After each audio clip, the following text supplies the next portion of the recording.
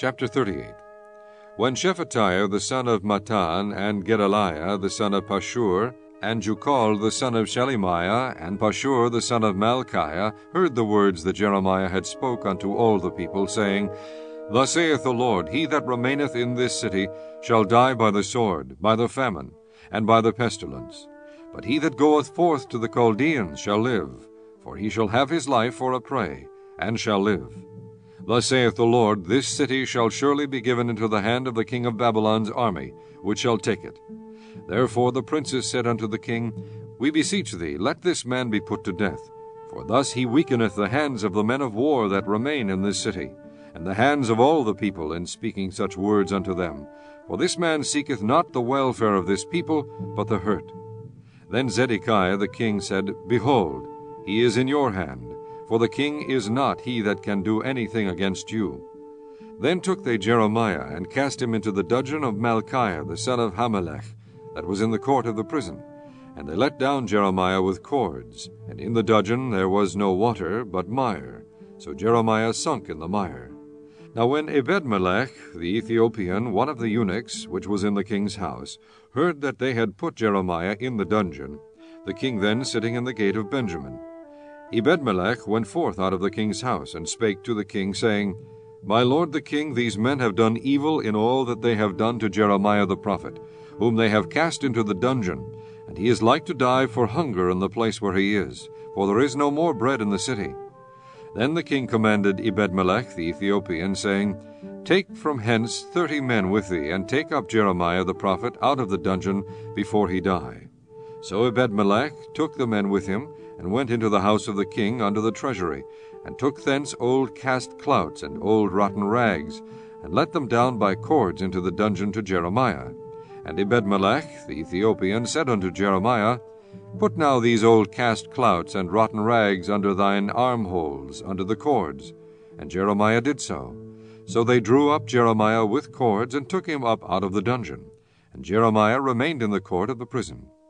Then Zedekiah the king sent and took Jeremiah the prophet unto him into the third entry that is in the house of the Lord. And the king said unto Jeremiah, I will ask thee a thing, hide nothing from me. Then Jeremiah said unto Zedekiah, If I declare it unto thee, wilt thou not surely put me to death? And if I give thee counsel, wilt thou not hearken unto me? So Zedekiah the king sware secretly unto Jeremiah, saying, As the Lord liveth, that made us this soul, I will not put thee to death, neither will I give thee into the hand of these men that seek thy life. Then said Jeremiah unto Zedekiah, Thus saith the Lord, the God of hosts, the God of Israel, If thou wilt assuredly go forth unto the king of Babylon's princes, then thy soul shall live, and this city shall not be burned with fire, and thou shalt live, and thine house.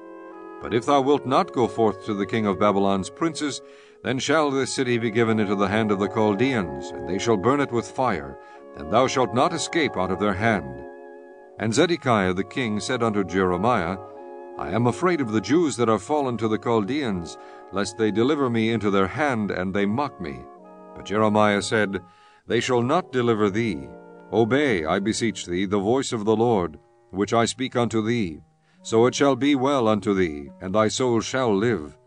But if thou refuse to go forth, this is the word that the Lord hath shewed me.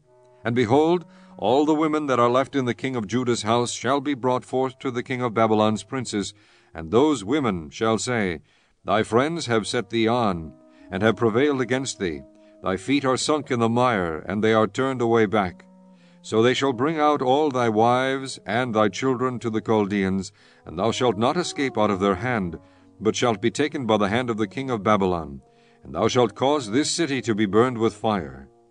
Then said Zedekiah unto Jeremiah, Let no man know of these words, and thou shalt not die. But if the princes hear that I have talked with thee, and they come unto thee, and say unto thee, Declare unto us now what thou hast said unto the king, hide it not from us, and we will not put thee to death, also what the king said unto thee.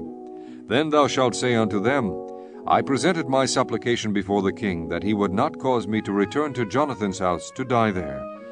Then came all the princes unto Jeremiah, and asked him. And he told them according to all these words that the king had commanded. So they left off speaking with him, for the matter was not perceived. So Jeremiah abode in the court of the prison until the day that Jerusalem was taken, and he was there when Jerusalem was taken.